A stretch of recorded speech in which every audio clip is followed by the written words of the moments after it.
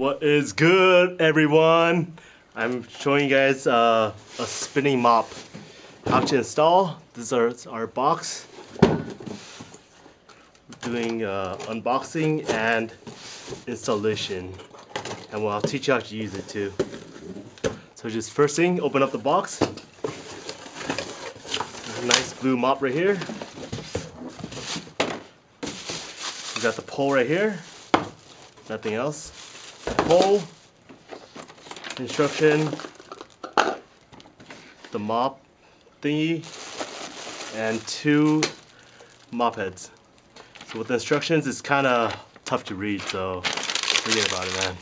I'll teach you how to do it the easy way. Alright, you're gonna get two poles like this. One is a top, one is a bottom. And the first thing you do is connect the pole.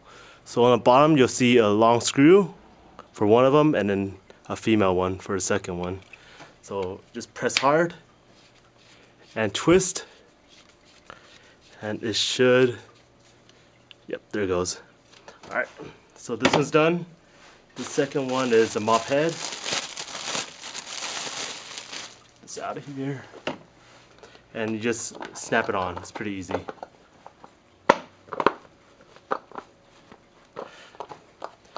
And the second part is twist off the cap on the mop head. Then we just put it right here on the pole. Put it back in. Push down and twist.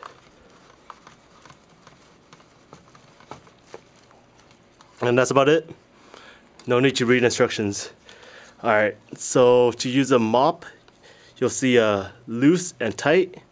So just loosen it up. And then when it loosens up, it just spins by itself. The mop head should, the mop pole should uh, fall on the mop head. So let's pretend that it's full of water.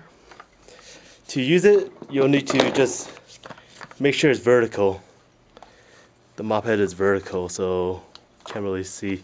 You could you could uh, bend it to 90 degree angles, but to rinse it, you'll put it on vertical, and you just spin, push down on the pole, and it'll spin by itself.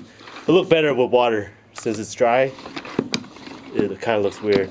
So this is to dry dry them up, and then when it has water, you just put it in here to rinse. Here. And to wipe the floor, we're gonna just go like this until it's all done. Alright?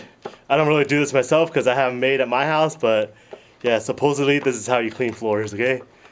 Alright, that's it. If you want to buy this, we have a link in the description below. Thank you.